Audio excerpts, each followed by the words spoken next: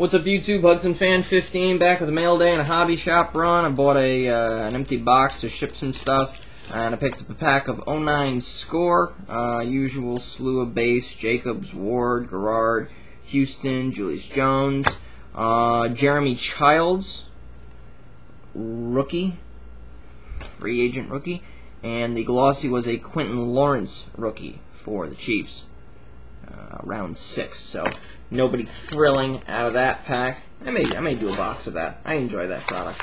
Um, and from K Derek 34. Uh, he's doing another one of these breaks, uh, something uh, that if you enjoy this product like I do, uh, I definitely want to be a part of it. Um, I had two teams, I had the Braves and the Cubs. He threw in one odd Hudson base.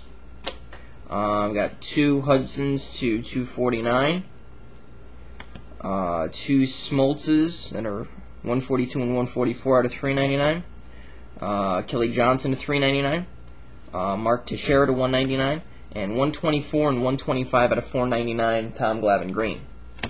So that's interesting. So Braves didn't hit, unlike in the LAA boys Heroes break, but uh, I had a second team which saved me was the Cubs. Uh, see, our numbered uh, Derrek Lee, 4, 499, and Rich Hill out of 499. Uh, Kosuke Fukudome and Ernie Banks to 399. Uh, Big Z, Carlos Zambrano out of 299. Uh, he threw in this uh, Kosuke Fukudome Ichiro duel to 149. I believe he had the Mariners, so he just said you can have it.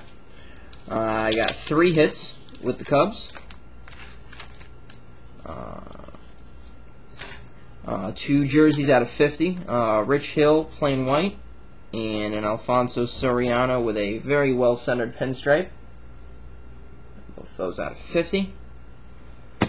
And uh, we glare like a mother, but uh, out of also out of 50 silver parallel, uh, Ryan Theriot autograph. It's got an interesting signature.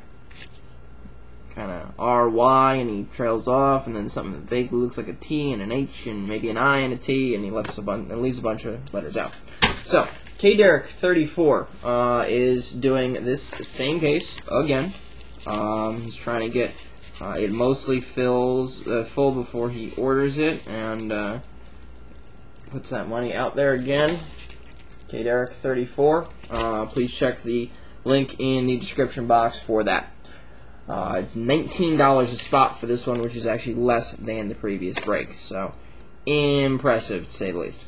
Alright, YouTube. Peace.